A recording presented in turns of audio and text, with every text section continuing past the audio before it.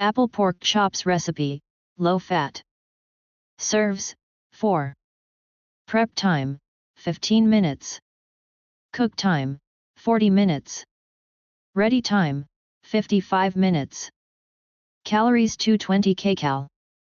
Ingredients 4 lean boneless pork loin chops, about 100 grams, 4 ounces, each. 1 onion, sliced. 200 ml, 7 fluid ounces, unsweetened clear apple juice. 2 teaspoons chopped fresh thyme. 2 cooking apples. 2 tablespoons lemon juice.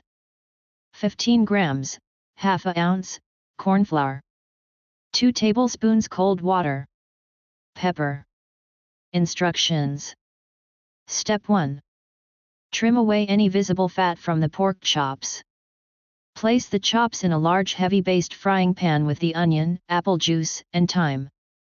Step 2. Bring the apple juice to the boil, cover the pan with a lid and simmer gently for about 15 minutes, then turn the chops over and simmer for a further 15 minutes or until the meat is fully cooked. Step 3. Meanwhile, core and peel the apples.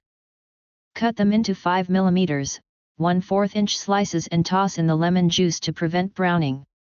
Step 4. When the pork is cooked, add the apple slices and cook for a further 5 minutes.